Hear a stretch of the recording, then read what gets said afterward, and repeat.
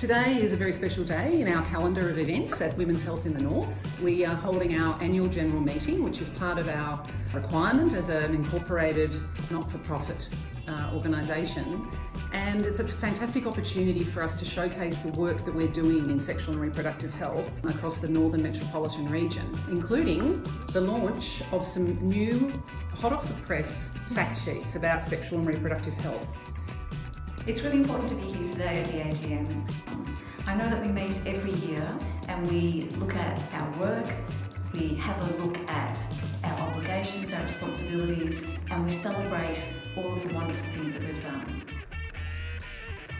Fact sheets that we're launching today have been designed to be transformative, to be accessible and to be inclusive. And we're going to be using them to engage with our community, engage with our regional partners to learn more about sexual and reproductive health and start prioritising it as an issue for our community. So the fantastic staff team here at WHIN have pulled together seven fact sheets, one for each of the local government areas in our region, as well as this one for the Northern Metropolitan region. WHIN has a sexual and reproductive health strategy called Going South in the North.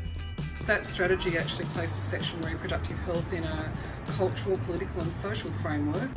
It's looking at all aspects of women's life and promotes sex positivity and sexual and reproductive health. When we talk about sex positivity, what we want to make really clear is what sex positivity is not. It's not being up for sex all the time, it's not wanting to talk about sex all the time or sharing your sex stories. It's about a really healthy attitude towards sex as a normal human function. We want to be embracing comprehensive sexual health education and taking a good, honest, non judgmental approach to sexual and reproductive health. It's really important that women are able to share their personal stories and that these stories are at the centre of what we do in this work.